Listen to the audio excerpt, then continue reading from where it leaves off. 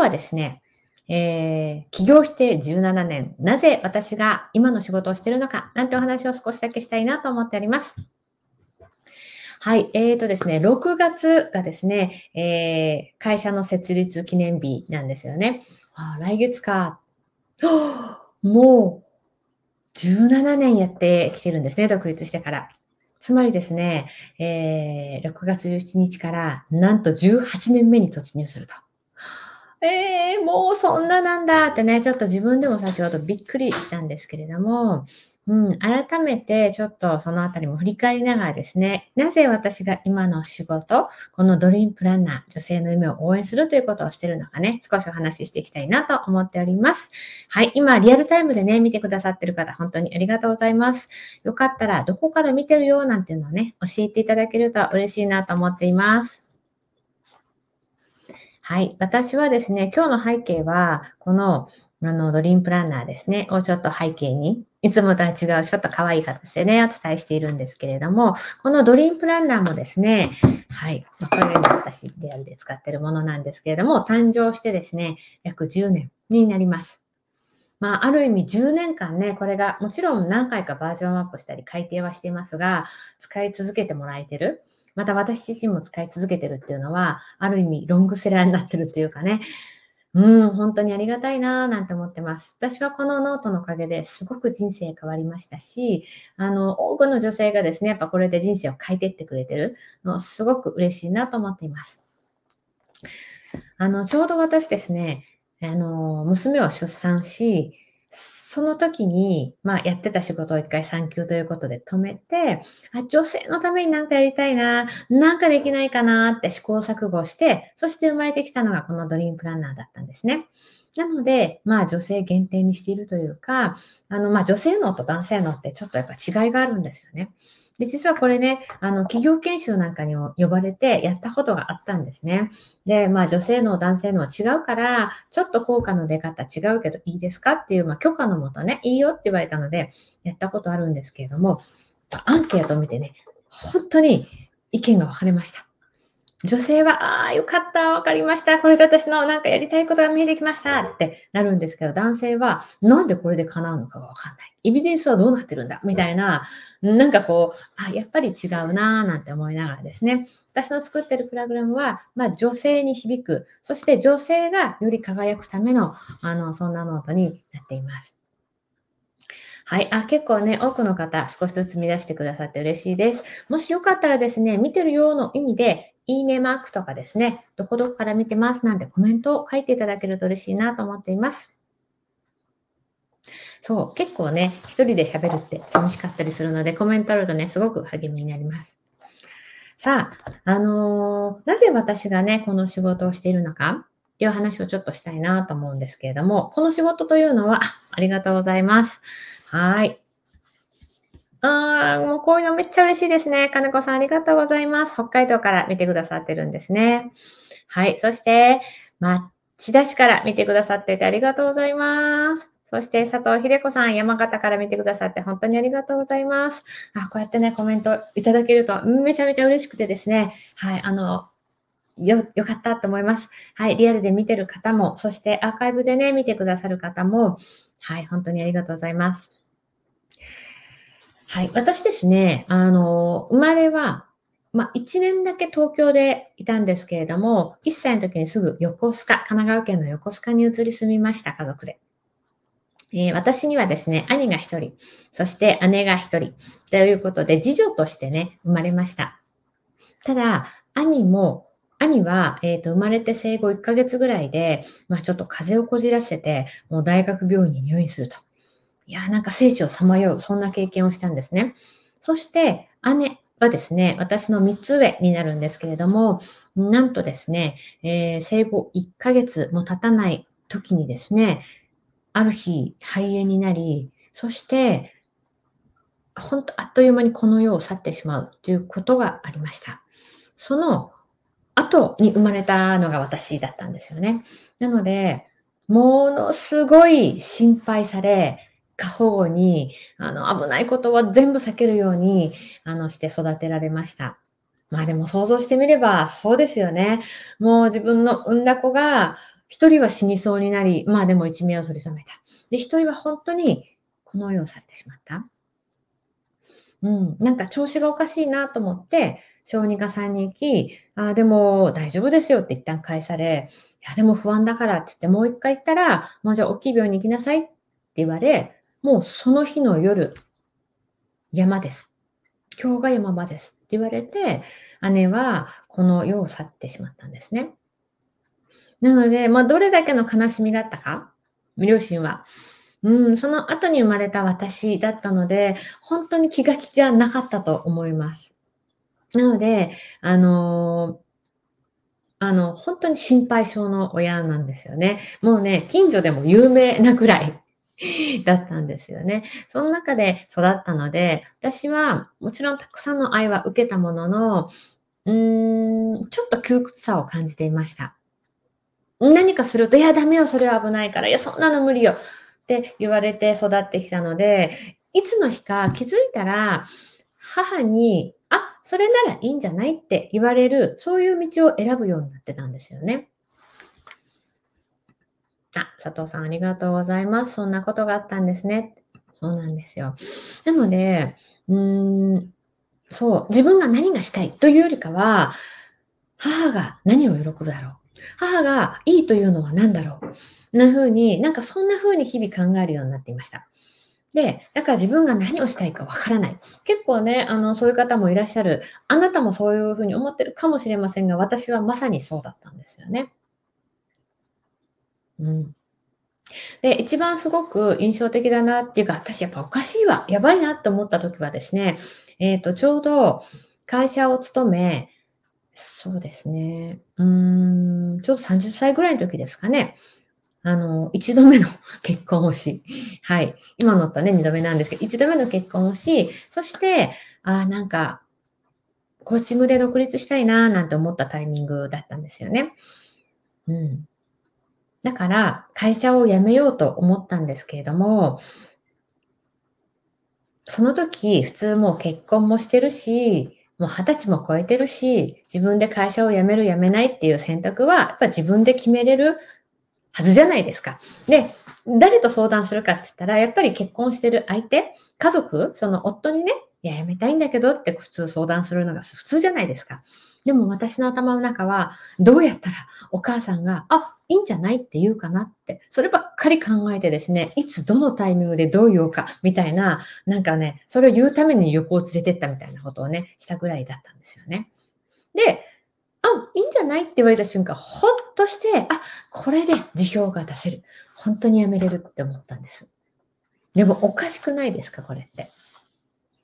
うん。っていうのに、後から気づいたんですよね。私は今一緒に生活をしている旦那さんよりも、母親の許可を最優先してたと。要は、そうなんですよ。自分がどう生きたいかもうさて起きすぎてたんですよね。そんな私だからこそやりたいことがわからないって言ってる人が、やっぱり自分の本当にやりたいことを見つけて、そこに向かっていくお手伝いをしたいなと思って、今この仕事をしています。うん。あの、私は親の影響だったんですけれども、私が主催しているドリームプランナー実践会は、やっぱりそういう方結構いらっしゃいます。これが、まあ、母親の場合があったり、父親の場合があったりってね、いろいろもありますが、やっぱ家族のうん、そういった影響によって自分らしく生きれなくなってしまった方とか、まあ、育った環境ですよね。うん、こう自分が長女として、こう、あ、こうあるべき、長女だからしっかりしなきゃ、お母さん助けなきゃ、みたいなところから、もうすべき、べき、べき論に生きるようになってしまったとかね。いや、そもそも私何したかったんだっけがわからない、そんな方もいらっしゃいますし、もしくは、あの、母親としてね、もう一生懸命、一生懸命子供のために、ね、もう人生注いでやってきた。子供が大きくなった。ある程度自分の手を離れた瞬間に何をしたらいいのかわからない。そんな風に思ってしまったり、もしくはご主人ですね。夫のために必死にやってきた。で、夫からなんかこう褒められるとか、夫からの承認をもらうために必死にやってきたために、っていうか、私は何がしたかったんだそんな人ね、結構たくさんいらっしゃるなぁなんて思って、だからこそそういう人が自分の本当にやりたいことを見つけて、そしてなんていうんですかね、ステージを変えていく。うん。いや、もうこの年だから今更変わらないわ、なんてね、諦める方とかもいらっしゃるんですけど、私、いくつからでも人生って変えれるって信じてるんですよね。実際に私も、ね、まあ、大器晩成型ではないですけど、本当にね、本当に自分の夢わからない、叶えられない、諦め続けてきた私が、今はこうやって自分の夢にチャレンジし、そして叶え、で、サポートする側になっている。もうまさか私がって感じなんですよね。うん。でも、可能性はいくらでもあります。なので、それをね、サポートしたいなと思って、えー、今このドリームプランナーというね、一つのプログラム、そして、あの、私自身、意志は弱い、そして頭もそんなに良くない、やり抜く力がない、みたいなね、まあ、言うなればちょっと情けないやつなんですけれども、そんな私でもやり続けたくなるような仕組み。とか環境を整えて、私自身も変わってきた。まずは私がこう背中を見せるっていうかね、今もずっとチャレンジし続けてます。で、メンバーさんがやっぱりいろんな方いらっしゃいます。もう一人でもどんどんやっていける方もいれば、もう本当秋っぽくてやっていけない方もいたりとか、なんかついネガティブに考えちゃって、すぐ落ち込んじゃう方とかたくさんいるんですけど、どんな方でも、やっぱりこう、あ、私にも可能性があるかも。で、この6ヶ月間で変わる、そんなサポートをしています。あのー、以前にね、幸子さんはね、企業塾やらないんですか？って言われたことがあるんです。だってね、起業して、それなりにこうね、成果を出してるから、こう、起業したいっていう人いるじゃないですか。だからサポートしないんですか？って言われたんですけれども、私は、しないよって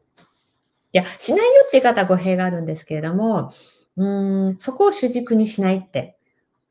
思ってるんです。起業するって、やっぱりいろんな起業の仕方はあると思うんですけれども、例えばほら、自分の強みを活かしてね、それを、あの、なんていうのかな、欲してる人にお伝えしたり、お教えしたりして、それでこう、なんていうのかな、こう、対価として、ありがとうとして、こう、フィーをいただくような企業、ありますよね、結構いろいろね。カウンセリングだとか、まあ私のやってるコーチングとかもそうだと思うんですけれども、でそういうものって、やっぱ一番大変なのって集客どうお客様と出会うかだったりすると思うんですよね。多分皆さんそれぞれいろんなとこで学んで、あの、その技術は身につけた。でも、じゃあどうやって お客様に出会うの？みたいなね。で、ここは結構ね、大変だなって私自身も、まあ独立してね、17年やってきて、まあいつもそれは思ってることなんですけれども、それのノウハウって、もちろん私もやってきたので知ってるし、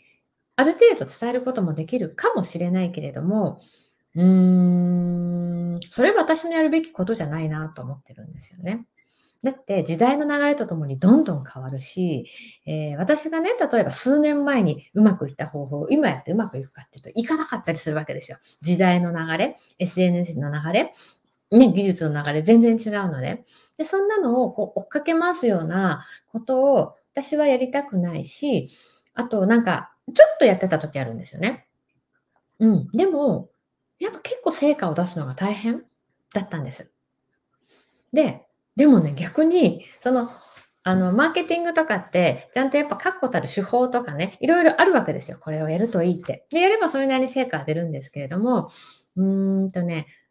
言ってもやんないんですよね、人結構ね。やんなかったり、やれなかったり、心のブレーキがあって。でも、面白いことに、その人の本当にやりたいことを一緒に見つけ出して、そこに火がつけば、勝手にやるんですよ。うん。なんて言うんですかね、こうあるべき、あると思うんですけど、それをやるよりも、やりたいってエネルギーの方がやっぱ数倍強いので、うん、私はその、本当にその人のやりたいこと、目指したいところを一緒に見つけ、そして見つけるようなプログラム、カリキュラムも作ってあるので、そしてそれでサポートしていきたい。なので、それをすることによって、それが起業につながる人もいれば、それがライフスタイルになることもあるし、今の会社の中で活躍していくことかもしれない。私はどれでもいいと思っていて、はい、その人の生き方もそれぞれですので、それをね、応援していきたいなと思っています。はい、ということでね、あの、本当皆さん、急なライブだったんですけど、見に来てくださってありがとうございます。そして、起業して、まあ、10年あ、まず法人を立てて今10何年だったかな ?14 年なんですかね。まあ10年か超える会社って、日本、全国の中で1%、1、10、ん？違う違う。1割未満って言われてるんですね。10%ぐらいなんですって。少なくないですか ?10% ですよ、10%。もう10社あるうちに9社は潰れちゃうと。で、私は本当に事務しかしたことがない、あの、すごい能力があるわけでもないし、学歴コンプレックスだってある、すごい、だからいい大学出てるわけでもない、こんな私が今、14年もやれている。これやっぱりやりたいことやってるからなんですよね。もちろんうまくいかなかった時もあります。苦しいって思った時もあるけれども、でも未だにやり続けてられるって、うん、好きだからなんです。好きを仕事にしちゃいけないなんて意見もありますが、私は違うと思う。した方がいい。うん。もちろんいいですよ。なんか、ライスワーク。生きるためのお金は別で稼いで、趣味でなんかをするっていうのも、そういう生き方もありだと思うんですけど、私自身はもうなんか仕事も人生も一緒と思っているので、うん、私はね、あの、やりたいこと仕事にするって大賛成だし、その方がエネルギーが出るし、いい循環が回る、そんな風に思ってます。うん、それが、まあ、企業であってもいいし、ね、この今の会社の中で頑張ることかもしれないし、まあ、いろんな働き方ってあると思うんですよね。特に今、働き方多様化してますし、それがしやすい環境になってますので、ぜひあなたがどう生きたいのか、もうそれ次第でいろんな道は見えてくると思います。うん。ワーケーションって言ってね、一つの場所にとらわれずに、いろんなとこ飛び回りながら仕事もできる、そんな、今ね、こうネットワーク環境とかも整ってきたじゃないですか。うん、ぜひね、あなたの本当にやりたいこと、そして、うん、目指したい生き方をですね、明確にして、そして楽しい人生歩んでいただけたらなと思っております。